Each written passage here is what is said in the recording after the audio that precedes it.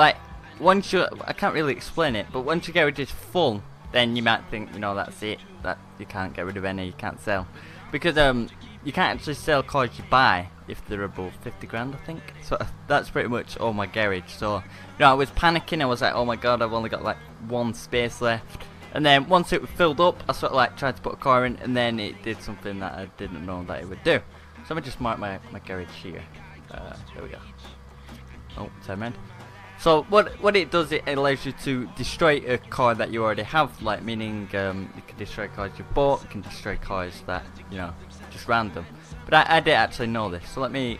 I'll find a car here. We'll get we'll get that one, and then I'll show you what I mean. But um, you know, I'm I'm telling you this so you don't have to sort of like panic, you know, to save space. Because like I said, when I when I had like one space left, so like crap. Oh my god, I can't sell any cars, can't get rid of any. But um, once your garage is full, it sort of like lets you destroy him. So I'll, I'll show you. I'll show it. I'll show it. So now we're at the garage. Once I go and like try and put it in, it'll say your garage is full. As you can see, garage must be replaced in your garage store your current vehicle, and then just press OK. As soon as you press OK, you have to get rid of a car, or the car you're in will get destroyed. So that's a bit of a bit of a bummer. I don't think I don't know if this works with um you know if you buy a car from the websites and then it like sort of asks you to destroy it. I'm not sure if that works or not. I actually tried that. Try it because I'm actually gonna buy the Ferrari because I have 200k, which I was saving up for all last night. Oh my god, it took ages. So um, what it should do now, yeah, here we go. We get a list that says replace vehicle. Now I can choose which um which one I want to replace. Now if you don't know the names of them, then you're pretty screwed. But I, I know, I pretty much know all the names.